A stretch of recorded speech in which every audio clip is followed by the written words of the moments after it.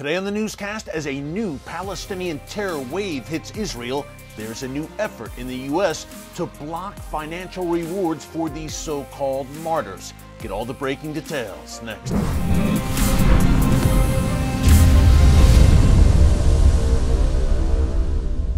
Hey folks, Erick Stakelbeck here. Welcome to the Watchman Newscast. There have been many Palestinian terror waves against Israel over the past few decades. Think of the first intifada or uprising during the late 1980s, the second intifada with its countless suicide bombings from 2000 to roughly 2006, and the so called stabbing intifada in 2015 and early 2016 that saw Palestinian young men and women carry out solo attacks against Israelis at places like bus stops and on residential streets. Then, of course, there's the continued Hamas led rocket barrages out of Gaza over the past two decades as thousands upon thousands of projectiles have rained down upon Israeli cities and towns. And now, there are troubling signs once again of a renewed Palestinian terror wave against Israel.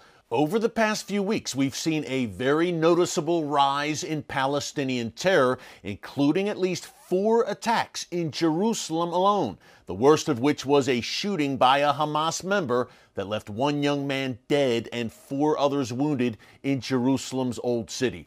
The biblical heartland of Judea and Samaria, also known as the West Bank, has been the scene of attacks as well, including a deadly one yesterday, December 16th. One Israeli man was killed and two others wounded when at least one Palestinian gunman opened fire on a car full of Jewish seminary students near the Homesh settlement. Now, Hamas, Palestinian Islamic Jihad, and other terror groups, of course, praised this evil act and the perpetrator or perpetrators, as I come to you here around 1 p.m. Eastern Time on Friday, are still at large, although the Israel Defense Forces are conducting a manhunt right now. At the end of the day, no matter who carried out this attack, one thing is absolutely certain. He or she will receive a lifetime stipend from the Palestinian Authority. That's right.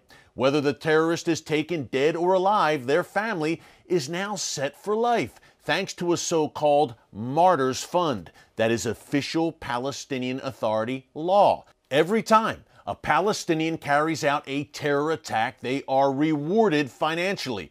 The deadlier the attack and the longer the prison sentence, the more money the family of the terrorist receives for life.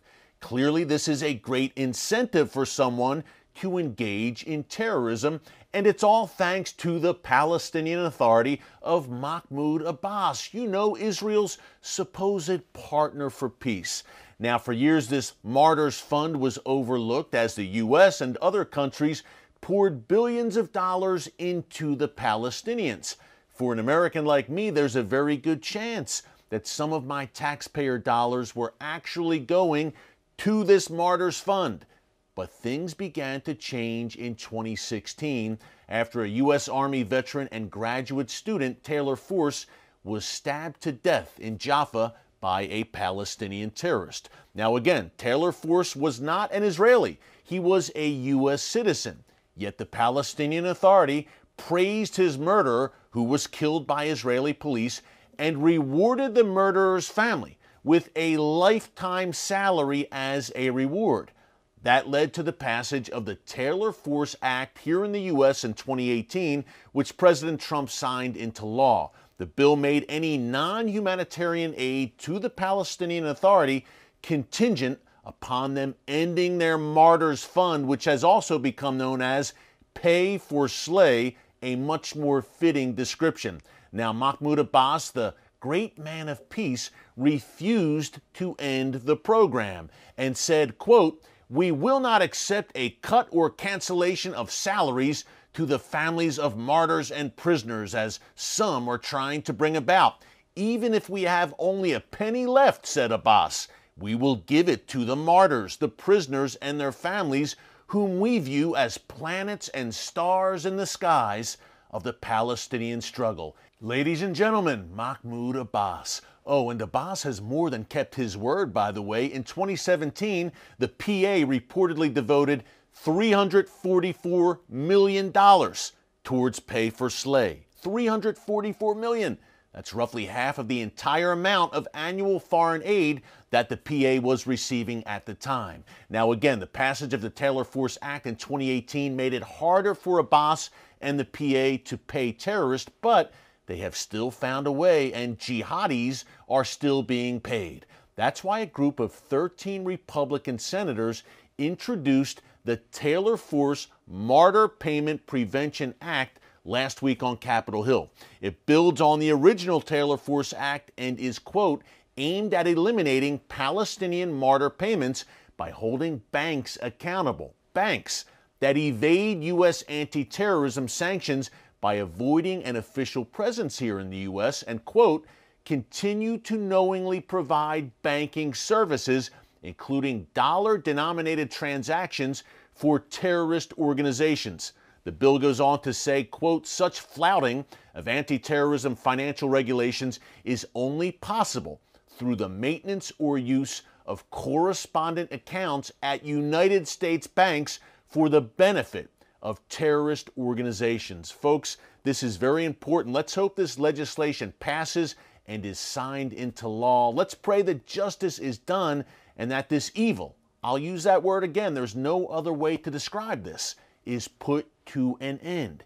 Paying lifetime salaries to murderers.